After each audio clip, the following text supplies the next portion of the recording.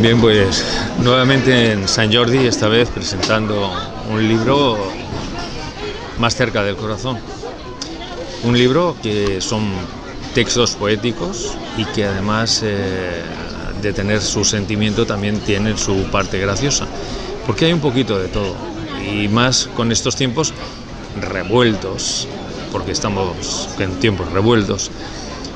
revueltos como los corazones, con lo cual desde la niñez hasta el día de hoy, pues eh, hay un trasiego importante donde aparece en el libro. Y algunos recordarán en, algunos de los versos, eh, pues bueno, esa poesía erótica que nació un día en San Llorenç d'Hortons y por casualidad, y las casualidades como no existen, y existe la causalidad, causas de la sirena y su condición de mujer, que fue el anterior eh, libro, en el que el mundo del erotismo nos acerca a esos momentos tan peculiares que muy pocos ponen atención.